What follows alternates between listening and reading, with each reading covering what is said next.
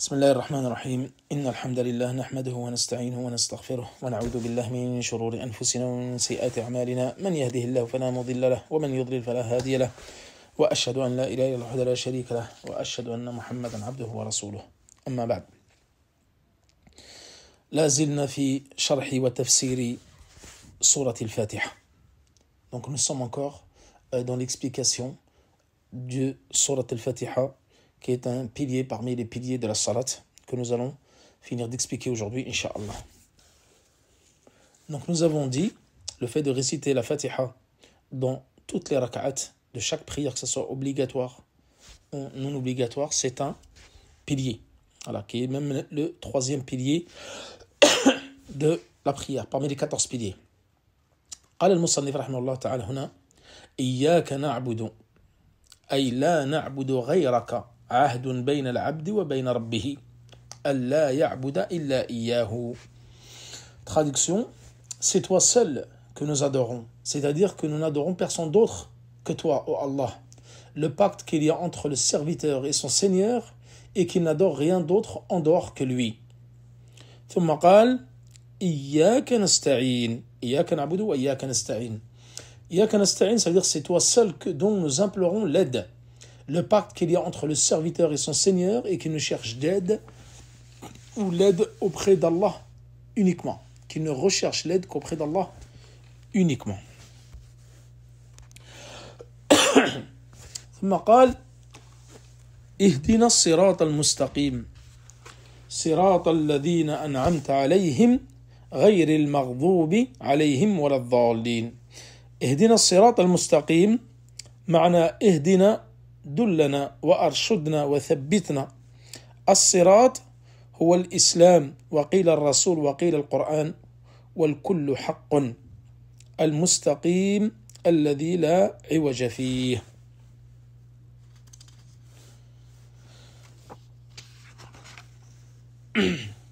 إذا تقدم هنا في إياك نعبد تقدم المفعول وهو إياك c'est-à-dire que ici le complément d'objet indirect il a été devancé dans la phrase c'est toi normalement nous devrions dire nous, adorons et nous demandons l'aide à toi, oh Allah. Mais ici on l'a devancé pour vous montrer l'importance de qui on adore. Et pour montrer que l'aide, on la demande qu'auprès d'Allah. Et l'adoration, on la fait qu'auprès d'Allah. هذا يدل على القصر فالعبادة هنا قدم المفعول إياك في العبادة والاستعانة فيه قصر واختصاص فقصر العبادة على الله واختصاصه بها فلا يعبد إلا الله c'est le fait de réserver l'adoration qu'à Allah et ne personne d'autre. Et que l'adoration, elle appartient uniquement à Allah et à personne d'autre. Isti'ana, la demande d'aide, on l'a fait uniquement à Allah. Mais nous avons vu dans l'Usul dans les trois fondements, que la demande d'aide, elle peut se faire euh, pour autre Allah, mais sous condition.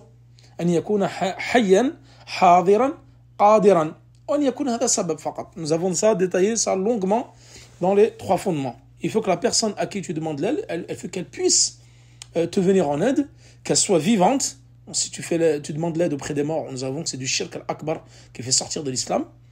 Ensuite, que cette personne puisse t'aider. Tu ne vas pas demander par exemple de l'aide à quelqu'un qui, qui, qui, ne peut pas t'aider, qui est handicapé ou sur une chaise euh, euh, roulante, etc. Ça, ça peut rentrer dans shirk al-asrar. Donc il faut faire attention. Et le fait de demander l'aide auprès des morts, quelqu'un donc qui est absent euh, ou qui est mort, ça rentre dans Shirk al-Akbar. Donc bien faire attention à, à, à, à cela. ثم قال اهدنا الصراط المستقيم Et ici, on demande la guider à Allah subhanahu wa ta'ala. Le chemin, guide-nous. Guide-nous vers le chemin le droit chemin. Salat al-Mustaqim, c'est le droit chemin. Et cela signifie quoi Guide-nous, signifie indique-nous, dirige-nous et raffermis-nous sur ce chemin-là. Et le chemin ici, la traduction Mohammed al par l'islam. Il a également été rapporté, ça veut dire le messager. mais ça veut dire aussi le Coran. Et l'ensemble de ces significations-là, il n'y a pas de contradiction entre ces significations-là. L'ensemble des significations, que ce soit l'islam, le prophète ou le Coran, sont justes et valables. Et droit signifie qu'il n'y a aucune distorsion euh, dans ce chemin-là. Ici, c'est une invocation qu'on fait auprès d'Allah. C'est l'une des doigts les plus importantes. C'est l'une des plus obligatoires qu'on puisse faire auprès d'Allah subhanahu wa ta'ala. C'est-à-dire c'est la meilleure et la plus parfaite des doigts, la, la, la, plus globale des doigts, des invocations qu'on puisse faire auprès d'Allah pour parfaire euh, euh, notre foi. قال اهدنا والهداية هنا نوعان هداية دلالة وإرشاد وهداية توفيق وتسديد والعبد بحاجة إلى الأمرين c'est-à-dire qu'ici il y a deux sortes de euh, de guider lorsqu'on on, on dit à Allah ta'ala qu'il nous guide hidayah qu'on appelle هداية دلالة وإرشاد والثانية دلالة وتوفيق donc demander à Allah qu'on puisse être guidé sur ce droit chemin et ensuite qu'on reste fixe sur ce droit chemin donc il y a deux choses ici le fait d'être guidé dans le droit chemin qui est l'islam et le fait d'être ferme et d'y rester de manière fixe jusqu'à la mort Demander ces deux choses-là. Donc ça, c'est deux choses différentes. D'être guidé dans l'islam ou à l'islam et d'y rester fermement.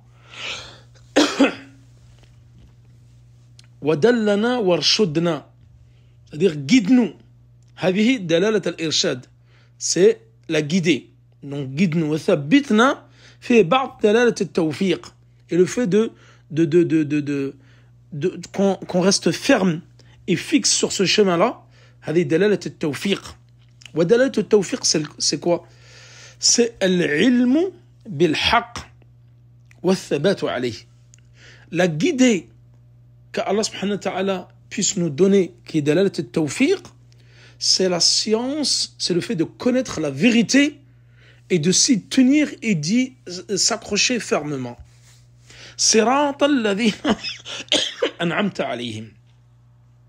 أي طريق المنعم عليهم والدليل قوله تعالى ومن يطع الله والرسول فأولئك مع الذين أنعم الله عليهم من النبيين والصديقين والشهداء والصالحين وحسن أولئك رفيقا Le chemin de ceux que tu as comblés de faveurs, de bienfaits, c'est-à-dire le chemin de ceux qui ont été comblés de bienfaits. La preuve est la parole d'Allah. Quiconque obéit à Allah et aux messagers, ceux-là seront avec ceux qu'Allah a comblés de ses bienfaits, les prophètes, les véridiques, les martyrs et les vertueux. Et quels bons compagnons que ceux-là. ثم قال غير المغضوب عليهم وهم اليهود معهم علم ولم يعملوا به تسأل تسأل الله أن يجنبك طريقهم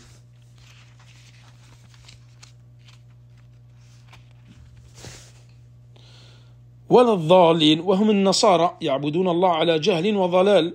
تسأل الله أن يجنبك طريقهم. ودليل الضالين هنا قوله تعالى قل قل هل أنبئكم بالأخسرين أعمالا الذين ضل سعيهم في الحياة الدنيا وهم يحسبون أنهم يحسنون صنعا؟ أولئك الذين كفروا بآية ربهم ولقائه فحبطت أعمالهم فلا نقيم لهم يوم القيامة وزنا. Wafil hadith. Je traduis déjà le, verset du Coran, ensuite nous allons passer au hadith. Le verset du Coran ici dit donc nous avons dit donc non pas de ceux qui ont nous de tes bienfaits et non pas de ceux qui ont couru ta colère. Qui sont-ils? Ce sont les juifs, en effet. Ils ont la connaissance mais ne la mettent pas en pratique. Nous demandons à Allah de nous éloigner de leur chemin. Ni les égarés. Et qui sont les égarés Ce sont les chrétiens qui adorent Allah dans l'ignorance et l'égarement. Nous demandons à Allah de nous écarter de leur chemin. Et la preuve des égarés dans la, dans la parole d'Allah. Voulez-vous que nous vous apprenions lesquels sont les plus grands perdants en œuvre Ce sont dont l'effort dans la vie présente s'est égaré, alors qu'ils s'imaginent faire le bien. وفي الحديث عنه صلى الله عليه وسلم لتتبعن سنن من كان سنن من كان قبلكم حذو القذة بالقذة حتى لو دخلوا حجر ضب لدخلتموه. قالوا يا رسول الله اليهود والنصارى. قال فمن؟ أخرجاه. وفي الحديث الثاني افترقت اليهود إلى على إحدى وسبعين فرقة وافترقت النصارى على اثنين وسبعين فرقة اثنتين وسبعين فرقة. وستفترق هذه الأمة على ثلاث وسبعين فرقة كلها في النار إلا واحدة. قلنا من هي يا رسول الله قال من كان عليه مثل مثل ما كان مثل من كان على مثل ما أنا عليه وأصحابي Donc dans le hadith, il dit, vous suivrez la voie de ceux qui vous ont précédé pas à pas, au point que s'ils voulaient entrer dans un trou de lézard, vous y pénétreriez également. Ô envoyé d'Allah, nous dîmes, nous, nous, nous écriâmes, nous, nous écriâmes, tu parles des juifs et des chrétiens, qui d'autre répliqua-t-il. Et dans un autre hadith, dans le second hadith, les juifs se sont divisés en 72 en 71 pardon, groupes. Les chrétiens se sont divisés en 72 groupes et cette communauté, c'est-à-dire la communauté de l'islam, se divisera en 73 groupes. Tous seront en enfer sauf une ou sauf un groupe. Ils diront Qui est-il? Qui est ce groupe, ô messager d'Allah? Il répondit Celui qui se tient sur ma voie ou sur la voie qui est la mienne et celle de mes compagnons.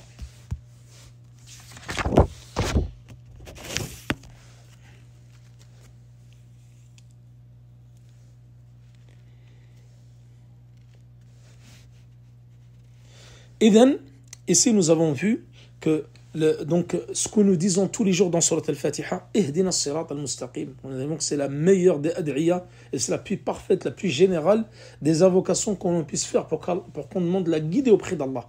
Et ça, nous le demandons, c'est une invocation que nous faisons dans chaque rak'at, dans chaque salat obligatoire, en groupe ou surrégatoire. Ensuite, on demande à Allah qu'il nous compte de bienfaits.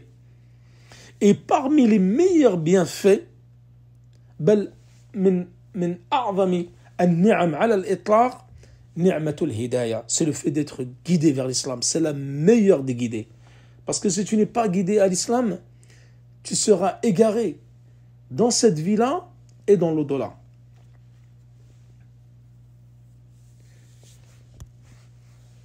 فالهداية نعمة من الله donc la, la guidée c'est un bienfait énorme qu'Allah accorde à ses serviteurs.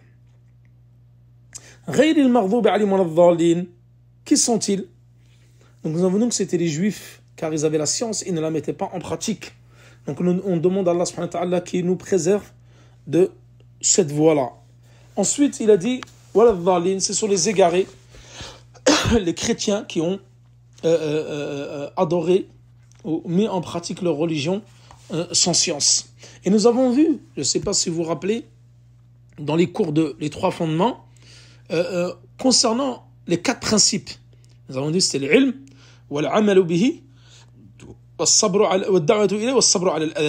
D'où l'importance, parce que regardez, ça nous l'avons déjà expliqué, les juifs avaient la science, ils n'ont pas mis en pratique, les chrétiens ont mis en pratique sans science. Les musulmans, muslim que Allah a guidé, il se doit de réunir entre la science et la mise en pratique.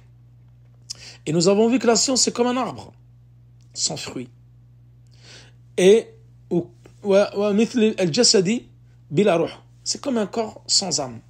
Donc la science, il faut la mettre en pratique. Le fait d'étudier la science, c'est une obligation qui incombe à tout musulman. Et le fait de la mettre en pratique, c'est une obligation aussi. Car demain, nous aurons des comptes à rendre sur cette science que nous avons acquise sans l'avoir mis en pratique. La preuve, c'est que les Juifs avaient la science et ne l'ont pas mis en pratique. Et Allah s'est détourné d'eux et était en colère contre eux.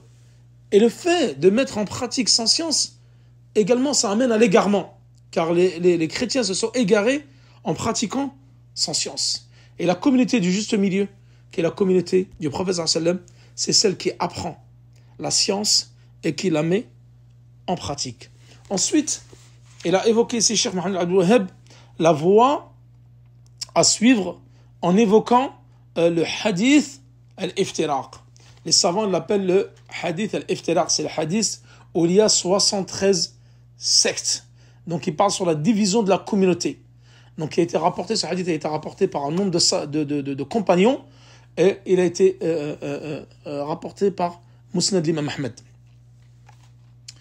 Donc là, al-umma huna fi hadith donc dans le hadith de la division, c'est ummat al-ijaba, c'est-à-dire l'umma, la communauté qui a répondu à l'appel. Donc les 73 sectes ici, c'est 73 sectes de l'islam. Donc les 71, donc c'était les juifs, 72 les chrétiens, mais 73, ce sont des sectes de l'islam. Voilà. Wa ummatul ijaba, c'est ceux qui ont répondu à l'appel. Euh, ummatul da'wa, ce sont les autres qui, qui n'ont pas répondu à l'appel, parmi les juifs, les chrétiens, les païens, etc. Donc toutes, tandis que la communauté de l'appel, donc c'est celle qui n'a pas répondu à l'appel du prophète sallam parmi les hommes et les djinns, depuis le début de la mission du prophète sallam jusqu'à jugement du, euh, du, jour dernier. Et ça, ça englobe tout le reste des religions, les mécréants, les juifs, chrétiens, etc. le prophète sallam a dit, par celui qui détient l'âme de Mohammed dans sa main, tout juif ou chrétien de cette communauté qui entend parler de moi, puis meurt sans croire en ce avec quoi j'ai été envoyé, sera parmi les gens de l'enfer. Hadith qui a été rapporté par Muslim. Voilà concernant donc l'explication de Surat al-Fatiha, qui est le troisième pilier de l'islam. Ensuite, il a dit Ar-Rukn C'est-à-dire que là, il, va, euh, on va parler des autres euh, euh, piliers de la prière. Il y a Ar-Ruku' c'est le fait de s'incliner, c'est un pilier. Warraf'u minhu, c'est le fait de se relever après l'inclinaison, ce pilier. Wassujud ala al-a'da'i as-sab'a. Wal-i'tidal minhu, والجلسة بين السجدتين والدليل قوله تعالى يا أيها الذين آمنوا اركعوا واسجدوا والحديث عنه أمرت أن أسجد على سبعة أعظم c'est-à-dire s'incliner donc là nous avons dit que c'est le on était au troisième pilier quatrième pilier s'incliner recours cinquième pilier se relever du recours de l'inclinaison sixième se prosterner sur les sept membres que nous allons voir euh, ce que c'est les sept membres du corps. Donc c'est la tête, le front avec le nez. Ensuite, vous avez les deux mains, les paumes des mains, les genoux et la pointe des pieds.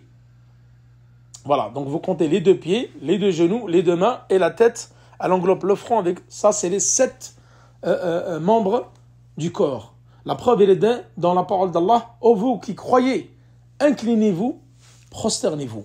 Et le hadith du prophète, j'ai reçu l'ordre de ce prosterner ou de me prosterner sur cette partie osseuse. Donc que nous venons de citer.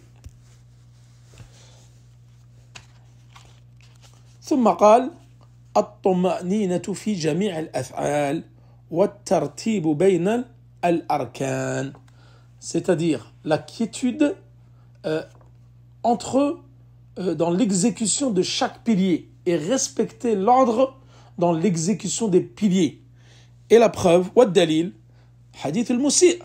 عن أبي هريرة رضي الله عنه قال بينما نحن جلوس عند النبي صلى الله عليه وسلم إذ دخل رجل فصلى فسلم على النبي صلى الله عليه وسلم فقال ارجع فصلي فإنك لم تصلي. فعلها ثلاثا ثم قال والذي بعثك بالحق نبيا لا أحسن غير هذا فعلمني. قال إذا قمت إلى الصلاة فكبر ثم اقرأ ما تيسر معك من القرآن ثم اركع حتى تطمئن راكعة ثم ارفع حتى تعدل حتى تعتدل قائمة حتى تعتدل قائمة ثم اسجد حتى تطمئن ساجدة ثم ارفع حتى تطمئن جالسة ثم افعل ذلك في صلاتك كلها Donc ici, la preuve dans la quiétude, elle réside dans le, le, le hadith d'Abu Huraira qui dit, alors que nous étions assis auprès du prophète sallam, un homme rentra, pria et vint saluer le prophète sallam. Qui lui dit alors, retourne et prie car tu n'as pas prié. Et cela se reproduisait à trois reprises. Ensuite, l'homme déclara, par celui qui t'a envoyé avec la vérité, comme prophète, je ne sais, je ne sais faire que cela, apprends-moi. Le prophète lui dit alors, quand tu te mets debout pour prier, prononce le takbir, puis récite ce que tu peux du Coran. Ensuite, incline-toi jusqu'à être serein dans l'inclinaison. Relève-toi, alors jusqu'à te tenir debout bien droit. Ensuite, prosterne-toi jusqu'à être serein dans la prosternation. Ensuite, redresse-toi jusqu'à être serein dans la position assise, puis fais cela dans toute ta prière. Donc, c'est sept points-là donc, qui sont des piliers de la prière, et donc et ce sont tous des mouvements. Donc, ils ont été cités dans le hadith d'Abir Horaira concernant celui dont sa prière n'a pas été convenablement faite. Donc, le prophète, à trois reprises, lui a dit de la recommencer, car il priait rapidement et ne donnait pas à chaque pilier son droit. rapporté par le Bukhari ou Muslim. Également, le prophète il a dit J'ai reçu l'ordre de de, de, de, me prosterner sur les sept membres du corps. C'est lesquels que nous venons de citer. Donc, sept parties osseuses. Donc, la main, donc le nez. Ensuite, avec le, avec le front, bien sûr, il y a les mains, les genoux et les extrémités de pied. Voilà. Et de ne rabattre ni les vêtements ni les cheveux. Ce hadith également est rapporté par Muslim. Donc la quiétude, fait partie, c'est parmi les piliers. La preuve, c'est que le prophète a dit euh, euh, euh, à ce compagnon-là, qui est en train de recommencer sa prière trois fois. Donc la, la, quiétude, c'est quoi? C'est la tranquillité et la non-précipitation. On ne s'empresse pas dans les mouvements. On exécute les gestes avec sérénité, qu'elle soit donc ce, geste-là ou ce pilier-là long ou court, comme ce joud, ou al-rukur, al-rafa, tartib al-af'al. Tartib al-af'al. Donc c'est le fait que de faire cela euh, euh, euh, de façon comme ça a été euh, relaté dans les hadiths du prophète sallam. At-tarki, at-tartib, al-af'al, ay bayna arkan af'al salat pardon. Le fait de faire cela euh, l'un après l'autre, c'est-à-dire le fait de se mettre debout, takbir, réciter la Fatiha, s'incliner, se relever, se, se, se, prosterner, se relever, tashahud, etc. Donc cela les faire dans l'ordre. Ça également, c'est un pilier parmi les piliers. Ensuite, il y a euh, euh, euh, un dernier pilier, enfin l'avant-dernier pilier, euh, c'est At-Tashahud al-Akhir, Roknun. Donc celui-là, il est un peu long dans l'explication. Nous allons le reporter au cours de demain, Inch'Allah. Wa sallallahu ala nabina Muhammad wa ala alihi wa sahbihi wa sallam. Wallahu ta'ala a'la wa alam. Wassalamu alaikum wa rahmatullahi wa barakatuh.